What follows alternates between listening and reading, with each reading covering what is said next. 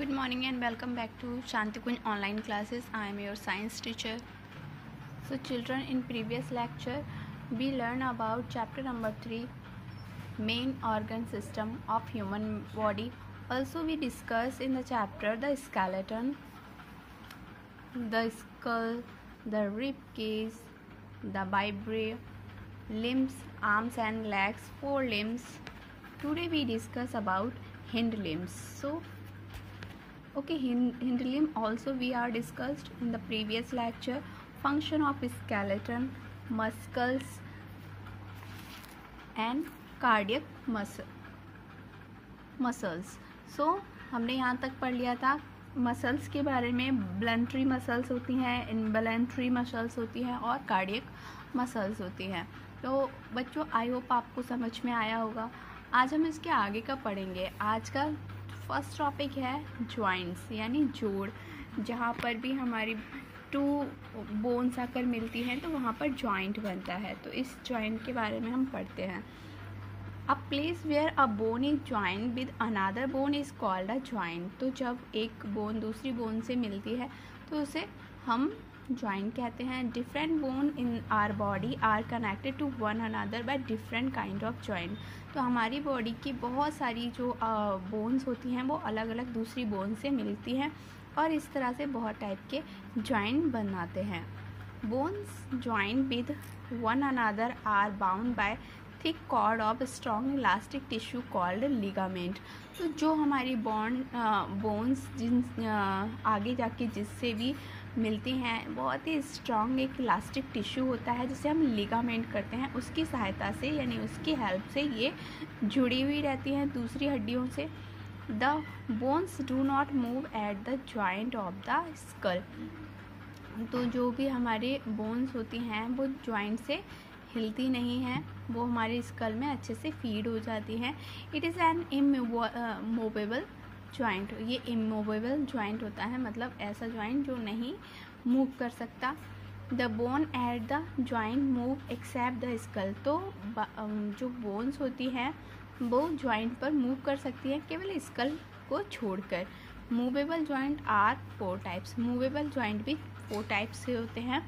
The hinge joint hinge joint कैसा होता है? A hinge joint is like the hinge in the door जैसे कि हमारे दरवाजे में कब्जा होता है ना उसे ही बोलते हैं हिंज ज्वाइंट इसी टाइप से हमारी बॉडी में भी कब्जा होता है, इसे हिंज बोलते हैं.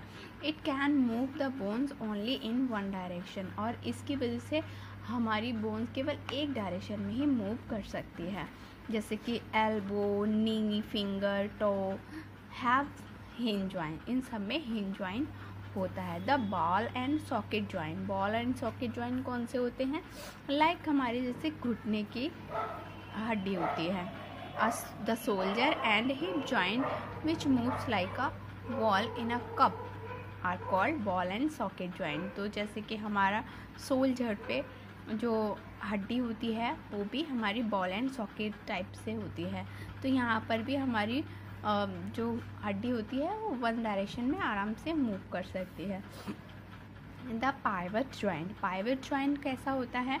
This joint is where the skull meet the top vertebrae तो यहाँ पर जो हमारा स्कल है, वो टॉप बर्टिब्री से मिलता है, तब ये ज्वाइंट हमारा वर्क करेगा। It allow you to bend your hip up and down and sideways तो ये इस तरह से हमारा हेड के लिए हम अपना हेड ऊपर नीचे या साइड से क्या कर सकते हैं? बैंड कर सकते हैं। तो ये हमें फाइबर ज्वाइंट की वजह से ही कर पाते हैं। The gliding joint this joint is found between small bones of the wrist and anklet तो ये जो छोटे छोटे ज्वाइंट्स होते हैं, जैसे कि हमारी कलाई का ज्वाइंट और हमारे एंकलेट यानी पैर की हड्डी का joint it allow sliding movement इसकी वजह से हम थोड़ा सा मूवमेंट कर सकते हैं। The movement allowed is simple gliding back and forth और साइडवेज तो इस ये हमें सिंपली हल्का सा ग्लाइडिंग मूवमेंट करा सकता है। Now children move towards the exercise exercise में मैंने आपको टिक द करेक्ट करा दिए थे। आज आपको करने हैं बी ऑप्शन पे दिया है। Change the underline words to make correct statement rewrite the correct statement in your notebook तो आपको नोटबुक में अपना इसे दोबारा से लिखना है और कैसे लिखोगे?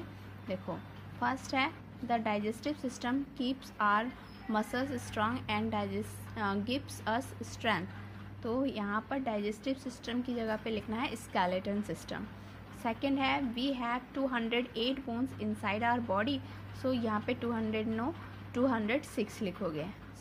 थर्ड है the ribs form a kind of case called a floating ribs so इसको ऐसे ही लिख देना है आपको। फोर्थ है muscles are attached to the bones by strong fibre called tendons इसको टेंडम्स लिखोगे। फाइव है cerebrum is the lower portion of the brain तो सेरिब्रम की जगह लिखना है मेड्यूला सिक्स में है the nerves which bring message from the sense organ to the brain are called the motor nerves no sensory. So children आपको इतना work आपको कर, अपनी कॉपी में करना है। नेक्स्ट क्लास में हम आगे का चैप्टर करेंगे और चैप्टर कंप्लीट करेंगे। Till then bye bye take care